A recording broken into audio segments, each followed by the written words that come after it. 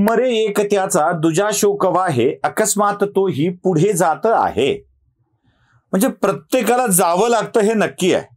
आणि प्रत्येक जण जाण्यासाठी चाललेला असतो.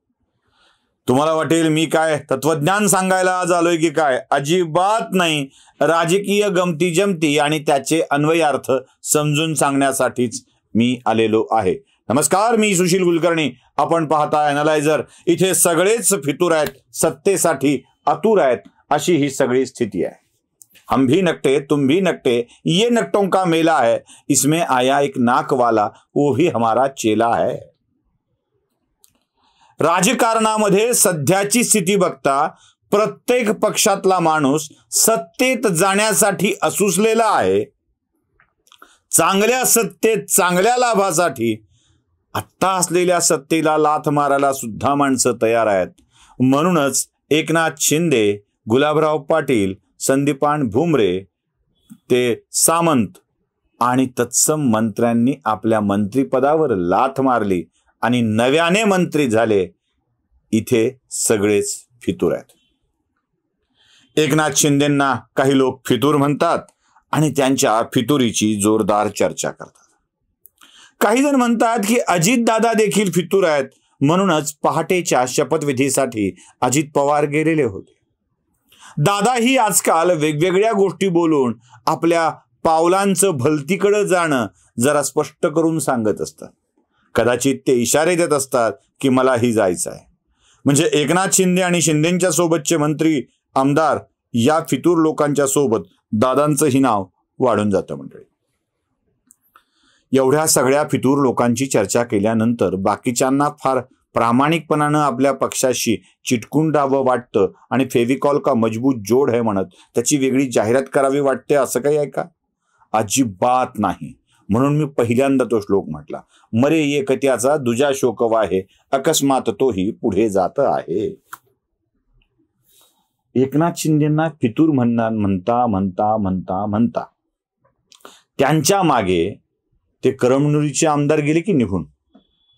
तर मात्रे काय तो दांडा असा हात बनून म्हणायच्या काय तो दांडा ओके आहे सगळं काय ते डुंगण हे त्यांची वाक्य होती. त्याही गेलेच की निघून. अकस्मात तोही पुढे जात आहे.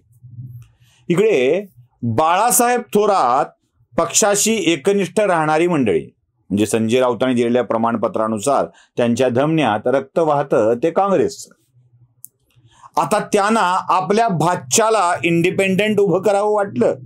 आणि आता आपल्याच पक्षाच्या अध्यक्षावर अध्यक्षावर आरोप करून तेच पक्षाला जय महाराष्ट्र माफ करा काँग्रेसमध्ये जय महाराष्ट्र म्हणत नसतात. काँग्रेसमध्ये रामराम ठोकतात. आपल्याच पक्षाला रामराम ठोकण्याच्या तयारीत बाळासाहेब थोरात आहेत. बरं बाळासाहेब थोरातांचा सोडा नाना पटोलेंचं काय? म्हणजे एकदा नमस्कार ठोकला भाजपत गेले. भाजपला नमस्कार ठोकला काँग्रेसमध्ये आले.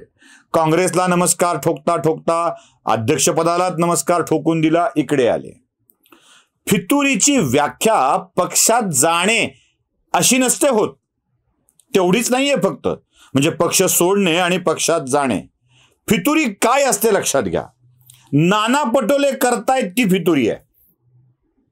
म्हणजे गडावर थांबायचं शत्रूशी मिळायचं गडाचे दरवाजे आतून उघडायचे शत्रू आत घुसला पाहिजे याची व्यवस्था करायची आणि आपण निवांत राहायचं गड शत्रूच्या हवाली करून टाकायचा. याला आपण शिवकाळात फितुरी म्हणायचो. अशा अनेक फितुरांचा अनुभव आपल्याला आहे. नाना पटोलेंनी काय केलंय? गडाचे दरवाजे आतून उघडलेत. शत्रूला आत येऊ दिलाय. शत्रू गड साफ करून निघून गेलाय. गडावर ताबा मिळवून गेलाय. नेमकी हीच गोष्ट आता बाळासाहेब थोरात काँग्रेसचे नेते आपल्या पक्षश्रेष्ठीकडे बोलू लागले आहेत खरा फितूर तर हाच. आणि हे बसलेत मी तो मी नव्हेच मी तर निप्पाणीचा तंबाखूचा व्यापारी लखोबा लोखंडे म्हणत. हेच लखोबा लोखंडे निपाणीचा तंबाखूचा व्यापारी म्हणून फिरतायत आणि तेच खरे सगळ्या केसमधले आरोपी.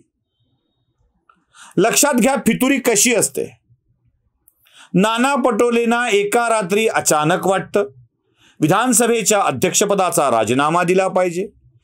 करा करा करा राजीनामा खरडला जातो. नाना पटोले अध्यक्षपदाचा राजीनामा देतात आणि तेव्हापासून विधानसभेचं अध्यक्षपद रिक्त राहतं. नाना पटोले विधानसभेचे अध्यक्ष राहिले असते तर कदाचित एकनाथ शिंदेच्या मंडळींना अपात्र ठरवण्यासाठी नाना पटोलेंनी तात्काळ कारवाई केली असती आणि विधानसभेच्या अध्यक्षाचा निर्णय कायम राहिला असता. विधानसभेच्या अध्यक्षाला काढून पुन्हा नवा अध्यक्ष नेमणं हे शिंदे आणि भाजप यांच्यासाठी अडचणीचं झालेलं असतं. म्हणूनच माझा दावा असा आहे की देवेंद्र फडणवीस एकनाथ शिंदे आणि नाना पटोले या तिघांनी मिळून हा डाव रचला. आधी पटोलेंना राजीनामा द्यावा लागला. पुन्हा विधानसभेच्या अध्यक्षाच्या निवडणुकीमध्ये वाद केले गेले. ती लांबली आणि यांची सत्ता सहजपणे येणं सोपं झालं. नाना पटोले खरे फितूर आहेत. ते भाजपातून इकडे आलेले आहेत. फितुरी काय असते? फितुरी काय असते? हे संजय राऊतांना विचारा. टोकाचा विरोध भाजपचा. टोकाचा विरोध. ते रावण होता विरोध भक्ती करणारा. सारखा राम राम राम म्हणायचा. राम असा नाही. राम पराक्रमी नाही. रामाला मी पराभूत करतो. रामाची बायको मी आणली. रामाला म्हणावं आक्रमण करायला. सारखं राम राम राम राम राम. तसं संजय राऊतांचं होत बघा. विरोध करत करत नामस्मरण आणि भक्ती रावणानं दाखवली होती. संजय राऊत विरोध करत करत करत करत आपली भक्ती भाजपवर दाखवत आहेत का?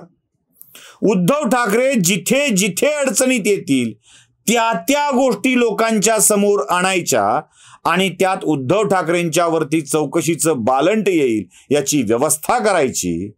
म्हणजे अगदी तो बंगल्यांचा विषय पाटणकरांचा विषय किंवा अन्य जमिनींचा विषय हा उकरून संजय राऊतांनी काढलाय. बंद पडलेल्या विषयांना परत चालना संजय राऊतांनी दिली आहे. फितुरी याला म्हणायचं का? आपल्याच ज्या मालकाकडं आपण आहोत त्याच्याच विरोधातली माहिती विरोध करत करत विरोधी पक्षापर्यंत पोचवायची आतले नकाशे पोचवायचे आणि मग त्यांना अडचणीत आणायचं. या स्वरूपाची फितुरी संजय राऊतच करतायत का? दादा बोलले म्हणून फितुरी वाटते शिंदे गेले म्हणून फितुरी वाटते थोरात नाराज म्हणून फितुरी फितुरी वाटते. अशोक चव्हाणांचं तरी वेगळं काय आहे? संजय राऊतांचं तरी वेगळं काय आहे? किंवा नाना पटोलेंचं तरी वेगळं काय आहे? इथे प्रत्येक जण फितूर आहे आणि सत्तेत यायला आतुर आहे. ही फुटणारी आणि दुसरीकडे जाणारी मंडळी काँग्रेसमधून भाजपात भाजपातून अन्य कोणत्या पक्षात राष्ट्रवादीतून काँग्रेसमध्ये राष्ट्रवादीतून भाजपात अशी जाये करत नसतात. ही मंडळी सत्तेमधून सत्तेकडे जात येत असतात. म्हणून तर मी म्हणालो इथे सगळेच फितूर आहेत सत्तेत जायला आतुर आहेत. व्हिडिओ आवडला असेल तर लाईक शेअर आणि सबस्क्राईब नक्की करा. धन्यवाद.